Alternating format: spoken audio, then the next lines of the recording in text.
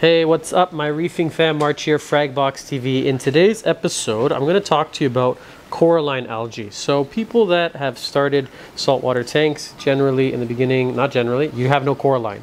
And I think it's an algae that a lot of people, new hobbyists, really want. It takes your rock from looking like this, right over here, this bleach white, kind of plain looking rock, to looking like live rock, the dream tank, to having those nice purples and reds and and kind of cool colors. The thing about Coralline, it doesn't just cover the rock, it's going to cover basically every surface in your tank. So as you see here on the overflow, oh, hello fishy, lots of Coralline and the same over here on the pumps, tons of Coralline. So a question we get often in the store is how to get Coralline to grow in your tank.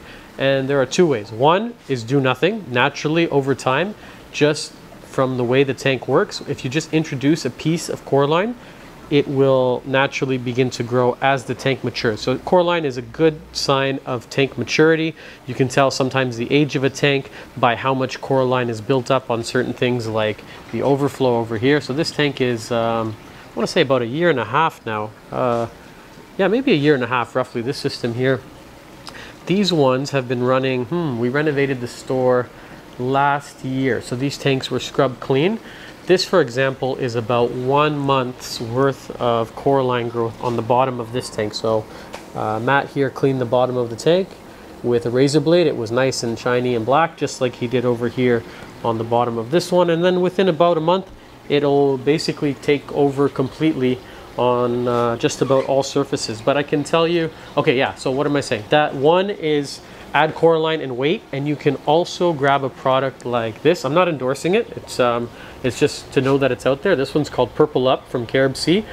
I think it's just elevating your calcium, to be honest. The customer feedback on it is quite good. There's one more that we carry from Red Sea. I think this one may actually have little specks of coralline in it. Hey, what's up, Jonathan?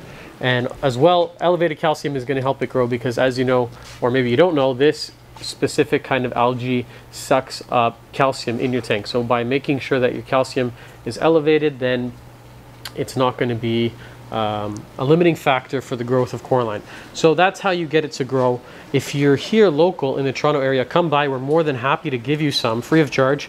just grab a razor blade, scrape the bottom, and you can take it home in a bag and seed your tank. If you've been in the hobby long enough, if there's some reefers out there watching this, then you know what I'm talking about. Coralline is really F word annoying. I don't know if I'm allowed to swear on YouTube. It's really annoying um, as it begins to grow. And the reason why for us it's twofold. One, it covers our egg crate as you can see here.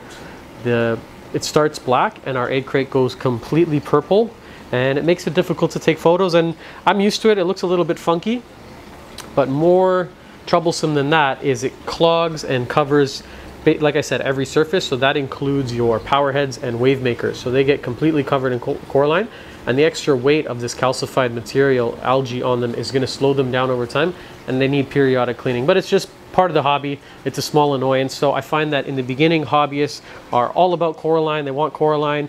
They're uh, you know trying to get the rocks to go purple, which is understandable. Later, you come to see it sort of as a nuisance. But quick video today, just talking about coralline algae. I feel like I've said coralline about a hundred times. I wonder if somebody wants to watch this thing and count and see how many times I said it. If you guys like the comment, you know where the subscribe button is. We're striving to do a video every single day of a week. That's seven reef-related topics that's crazy.